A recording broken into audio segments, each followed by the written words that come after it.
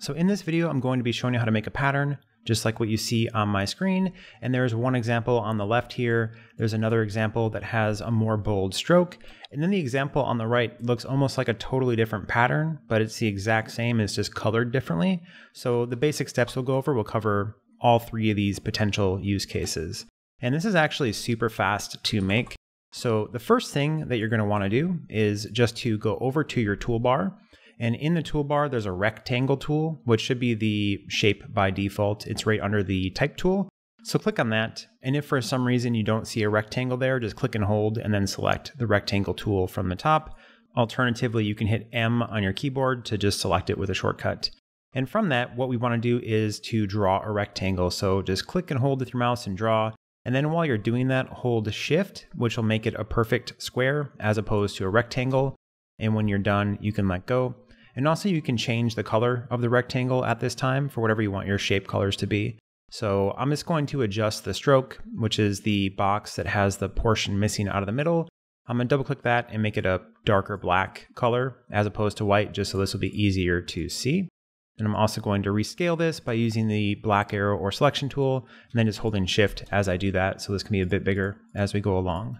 So in order to make the sort of leaf shape that these individual portions have, there's a way of very quickly doing that. So all you have to do is select that square using the selection tool or the black arrow. And then you can see in each one of the four corners, I'm gonna move the stroke just a bit lighter so we can see this. There's a little circle that if you were to click, hold, and drag that circle, it'll round all four corners of the square. So that's super useful if you want to do all four at the same time. But in this case, we just want to do the upper right hand corner and the lower left hand corner. So instead of clicking and dragging, what you're going to want to do is click one time on the top circle, which will select it, and then hold shift and then click once on the lower one, which will select both of these corners. And you can let go of shift after you do that. And then you would just click, hold, and drag like you normally would in order to bring these corners in.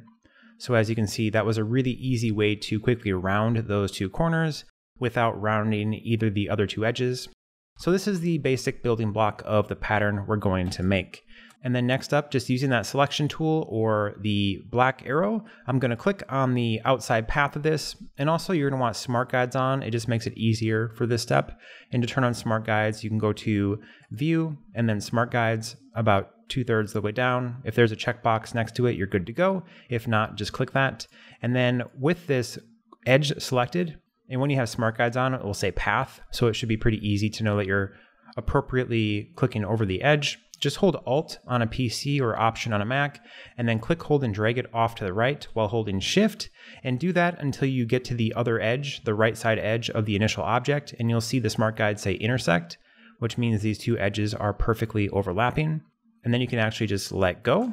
And when you hold Alt or Option on your keyboard and move an object, it duplicates that object. So that's the movement that we just did. And then I'm also going to just go over to one of the corners. It can be either the edge corner, top corner, doesn't really matter until I see the cursor change into what looks like an arc with an arrow pointing down or whatever direction on both sides. And I'm just going to rotate this around and I'm going to hold shift as I do that. And I'm just going to do that a full 90 degree angle. So in this case, we have what looks almost like a the top of a tulip flower. And this is the top portion of the pattern we're making. And then to duplicate this down, I'm just going to highlight over this entire thing once again, holding Alt or Option on a Mac. I'm going to drag this down while also holding Shift and do that again until we once again see it intersecting with the lines on top. Then I'm going to let go. And once again, go to the rotate and hold shift and just rotate this around so we have what almost looks like a full flower pattern now. I'm just going to zoom out a tiny bit so we can see what we're doing on the next step. So just to pattern this out, and this is the point when you can decide how long you want this pattern to be and how high you want this pattern to be. So once again, using that selection tool or the black arrow, just highlight over the entire shape, go over to the left side edge and highlight it until it says path, and then hold down Alt or Option on a Mac, click, hold, and drag it over until you see it intersecting on that right hand side, and then you can let go. And then while this shape is still selected, and if you happen to click off, all you have to do is click on it again. Just hit Control D on a PC or Command D on a Mac, and it will duplicate that pattern for you. So for every time you hit that, it'll duplicate this one more time. So in this case, I'll have one, two, three, four, five of these going horizontally. And then I'm just going to duplicate that exact same step moving upward. So highlight over this entire thing using the selection tool, go to the bottom edge, and I'll know I'm on there when it says path with my smart guides. Holding Alt or Option, drag it up until it intersects, and then let go. And then I'll just hit Control D or Command D three more times to make this a perfect square pattern. So now we have basically this one on the bottom that I had previously made before. I'm just going to make this a little bit smaller to be a bit closer in scale to the example below although that really doesn't matter all that much. But here you can see how that looks.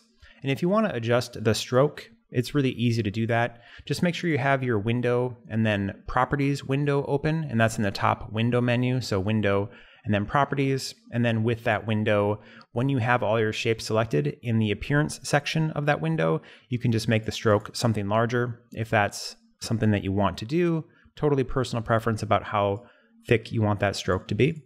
And this particular example, to do this sort of background highlight in that yellow color, all I did is go over to the toolbar, select that rectangle tool, and then I essentially just clicked and dragged around each one of these white kind of starburst looking shapes in the center, which brings a yellow box around the entire thing. And if your box isn't the right color, you can just go to the toolbar, go to the fill, which is the solid square, double click that, change it to be whatever color it is you want to be.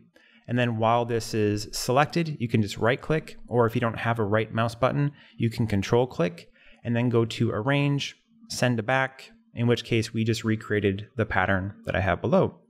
But I don't want that, or actually I can just duplicate this over to show how to make this other example as well. So I'm going to select everything and then just duplicate this by holding Alt on my PC, or if you're on a Mac, holding Option. I'm going to delete this extra color in the background, which we don't need. So on this one, what I did is right now this has a very, very strong pattern that almost looks like a tiled floor pattern. And if you want it to look a bit more natural or a bit more random, what I did is I started just adding different colors. So I used three different colors, which you can see obviously in the example below. So I'll just make some of these really fast. I didn't mean to do that. By clicking on the shape, hitting I on my keyboard, and then eyedropping these. And then I just hit V to bring back that selection tool and then you can very quickly just go around and start changing colors of various things. So no real particular rule in terms of how you pattern this or how, how you choose to color this, but just getting some color in there can help break up the visual contrast as a first step. But I also went in here and just selected individual shapes. But to break up the pattern, I just selected individual shapes using the black arrow or selection tool, going to the edges until I see the rotate tool. And then I held shift and just did this basically 90 degrees in whatever direction it is I was going. And I would keep doing that by selecting different shapes in order to make the entire pattern look a lot more random, which kind of breaks up the very strong visual consistency that you have, for example, in this top one. So when you do that enough, you end up with an overall pattern that looks much more random. And it's up to you how random you do or don't want this pattern to look. That's totally personal preference on how you want to style this thing out. But that's essentially what I did for this entire thing. I just go around here, rotate these various shapes around or not, kind of deciding where I wanted to break up particular patterns. So just keep going around doing that as you continue rotating until you get this looking the way that you want. For example, I see there's four of these in a row that are all going the same way. So I'd want to break that up and make it look a bit more random once again. So that's one way of doing it. And basically the only thing I did different on this one on the left. It's the exact same pattern, so I'll just duplicate this entire thing over. But then I went over to my toolbar, and in the stroke, I just double clicked on that and changed that to a pure white. So when I change that to a pure white, it has a much more light visual impact than the very heavy one of this example over here. So that's one way of doing it. And if you have a different colored background than white and you don't want the edge to look white, you can of course just change that to match whatever your background color is. So that's really it for this tutorial as far as making these patterns. It's pretty quick and easy to go in here and start making stuff. And then the slightly more time consuming part is just getting a color pattern that you like and then individually rotating all these individual almost leaf shapes until you feel that they're broken up enough that the pattern is a bit more difficult to spot and it feels a bit more natural and organic. But if you found this video helpful, feel free to let me know by hitting the thumbs up button to like the video and let me know that this was helpful to you. And also, if you want to see more videos like this in the future, please consider subscribing. I'll do my best to keep on creating new content just like this in the future. But that is it for this video. Thank you so much for watching.